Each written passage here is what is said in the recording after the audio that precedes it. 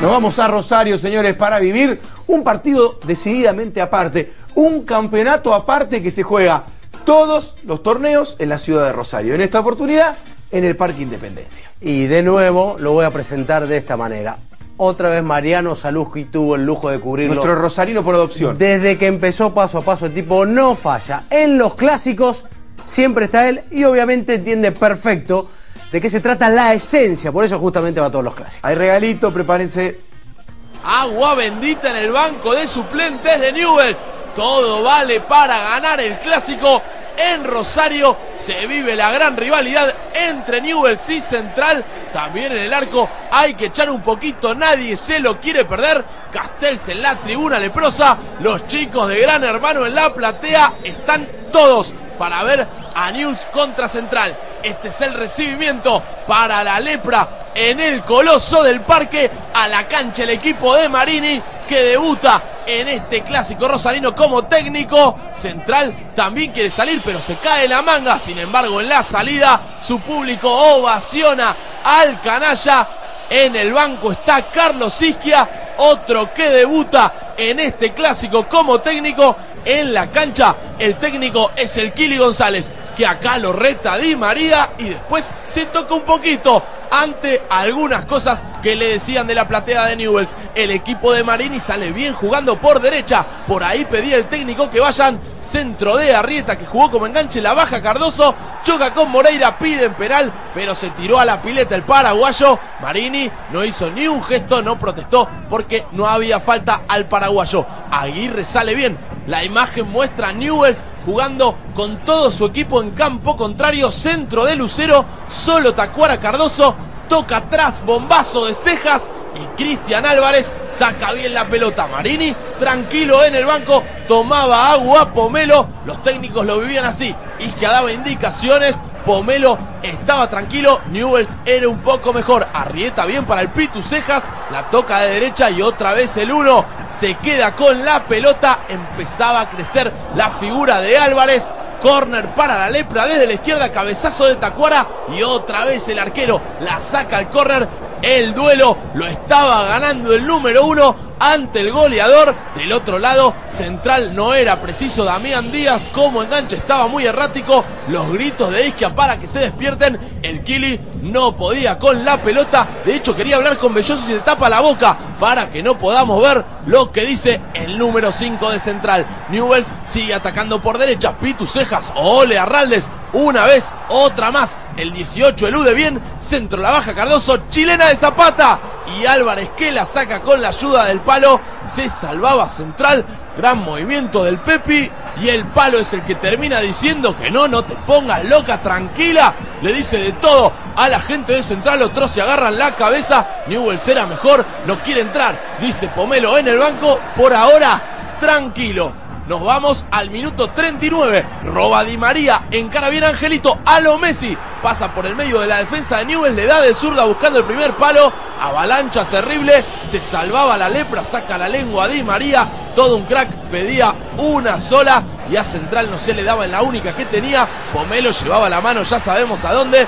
El pelado Isquia con todos los suplentes, lo sufría desde el banco, termina felicitando al número 20, fue la mejor jugada de Central en la primera parte. El resto fue de Newells, Arrieta la tiró por arriba y empieza el show de Pomelo, que se agarra la cabeza a los 44, Cardoso también le da por arriba, la pelota termina en córner y Pomelo de nuevo se agarra la cabeza de ese tiro de esquina, llegará el cabezazo de Gastón Aguirre, muy cerquita. El capitán se agarra la cabeza como Pomelo y su técnico va a hacer esto. Se va a agachar y se va a volver loco.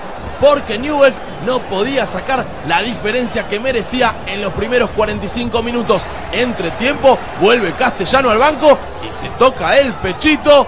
La cosa estaba caliente, el clásico se vivía a pleno. Pablo Pérez deja la virgencita en el banco suplentes de Newells. Todos apostaban y el partido se jugaba con los dientes apretados. Si no, miremos a los capitanes Aguirre y Belloso que ponen con todo. Ataca Newells, que era un poquito más claro. Sin embargo, el nivel en el segundo tiempo decayó. Tacuara cabeció por arriba. Después Arrieta tiró este buen caño ante Toti Ríos, pero se ponía duro técnicos pedían. Marini a los 20 lo llama a Matías Miramontes El ex Temperley tiene solamente cinco partidos jugados con la camiseta de la lepra. Entra por Arrieta que se fue contracturado y a los dos minutos de estar en la cancha mete este gran pase para Tacuara Cardoso que define de derecha. 1 a 0 está ganando Newells el clásico de Rosario. Así lo grita el número 9. Así la gente de la lepra que festeja con todo la ventaja que merecía. El grito nuevamente de Tacuara, el gran goleador. Así se vivió en el banco de Newells. Le hacen la garra pata a Marini que ni lo grita. Eran muchos los nervios que existían. Mueve los brazos, festeja con su ayudante y termina aplaudiendo por el gol del paraguayo al que se le había negado en el primer tiempo. Acá vemos en la repe el gran pase de Miramontes. Tacuara primero se ve habilitado y luego define de derecha Álvarez la figura. Ahora nada pudo hacer. Después Pomelo lo llama y lo felicita al número 10. Central va por el empate, apuesta el pelotazo aéreo, pero Tacuara en defensa también saca todo. A los 30, Toti Ríos abre con el boliviano Raldes que arma esta gran jugada por derecha. Caño el Colorado Re se mete en el área y Gastón Aguirre lo baja claramente. Nada que decir para el capitán. Penal para Rosario Central, festejo del boliviano. Los hinchas canallas así festejan en la popular. Se tenían fe. Clara fue la falta de Aguirre sobre Raldes. El Kili fue a patear como en la apertura, pero Villar ahora le dijo que no. Belloso después la tiró por arriba del travesaño. Así gritaban los de la lepra. El Kili no sabía dónde meterse, quería que se lo trague la tierra. Y estos hinchas canallas querían lo mismo. Gran atajada de Justo, que hacía dos años no atajaba un penal. El Kili se agarró la cabeza y atentos al banco, porque Isquia se queda con las ganas.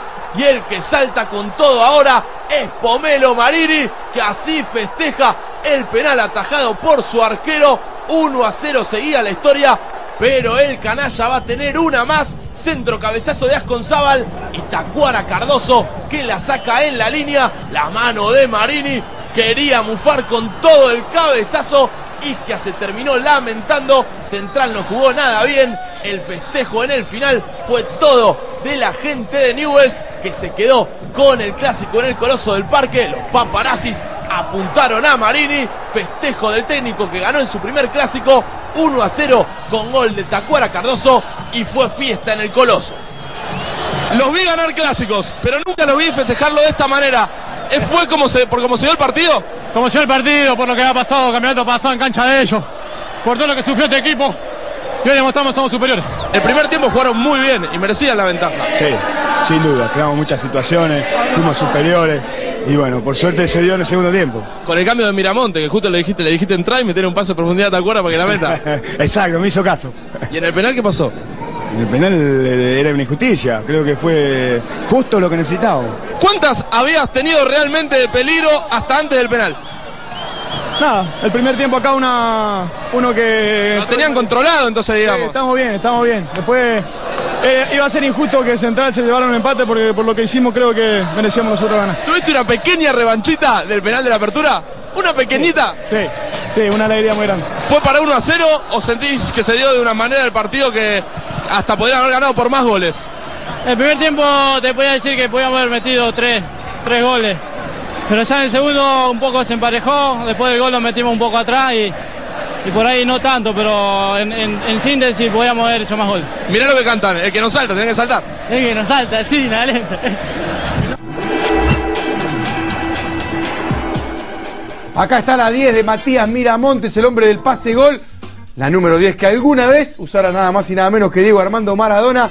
Gracias a los muchachos de Newell por contribuir ¿sí? a la causa. ¿sí? Siempre hay que estar regalando camisetas para todos ustedes. Triunfazo y se vive como un campeonato aparte. Es así, lo decían los jugadores en el campo de juego. Es un campeonato para los de Newells y para los de Central. Y queda claro cada vez que vemos uno de estos clásicos. Más por todas las notas que hizo Mariano Saluz, que calculo que el festejo por lo menos habrá durado 20 minutos. Sí, con los jugadores campo. quedándose Sí, ahí. Y después, cuando veíamos la nota con Marini, que habrá sido después, se escuchaban los jugadores cantando adentro del vestuario.